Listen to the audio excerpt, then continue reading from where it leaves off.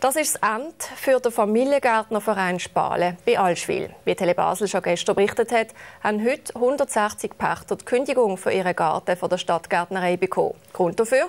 Die Besitzer, das Bürgerspital, will das Land andersweitig brauchen und gibt nicht nach. Ich bin nicht der Mensch, der Konfrontation sucht. Aber wenn man sie haben will, ich bin bereit für Konfrontation. Und unsere Kriegskasse, die ist gefüllt. Der Franz Ott, Präsident vom Familiengärtnerverein Spalen, ist hässig. Grund er hat erwartet, dass über das Schicksal vom Familiengarten Spalen mit den beteiligten Parteien nochmal geredet wird. Am Mittwoch aber hat er erfahren, dass die 328 Familiengärten definitiv weg müssen. Heute, zwei Tage später, bekommen die 160 ersten Pächter die Kündigung auf den August nächstes Jahr. Und das vom Baudepartement Abteilung Stadtgärtnerei. Bei allem Verständnis für die Pächterinnen und Pächter auf dem Areal ähm, müssen wir schon sagen, wir haben das Bestmögliche daraus gemacht. Also wir haben die Kündigung kurz vor Weihnachten gekriegt. Am 23. Dezember, um genau zu sein, ist die Kündigung vom Bürgerspital äh, bei der Stadtgärtnerei auf dem Tisch. Gewesen.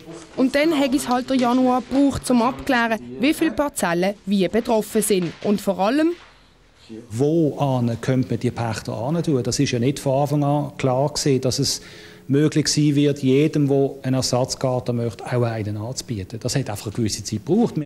Und so ist es jetzt. Mit der Kündigung ist auch ein Fragebogen raus für die, die einen Ersatzgarten wollen. Das Ende vom Familiengarten Spalen mit dem Ablauf vom Nutzungsvertrag im 2013 kommt, ist laut dem Direktor von der Grundbesitzer Bürgerspital, Fritz Jenny, schon lange klar gewesen. Das Moratorium ist auf 15 Jahre abgeschlossen gewesen, aber das hat dem Bürgerspital enorm viel Geld Ausfall gegeben. Wir, haben, wir subventionieren jeden Platz dort mit rund 9000 Franken im Jahr. Also keine Diskussionen mehr. Eigentlich müssten alle 328 Gärten schon 2013 weg. Das sei die ursprüngliche Abmachung 15 Jahre Verlängerung. Wir haben jetzt trotzdem nochmal einen Vorschlag gemacht von einem etablierten Vorgehen, dass nur, zuerst nur die Hälfte von diesen Plätzen betroffen sind und wir nachher noch abmachen, bis wenn alle anderen Plätze dann auch aufgelöst werden. Rund 3 Millionen können das Bürgerspital pro Jahr durch das Areal einnehmen.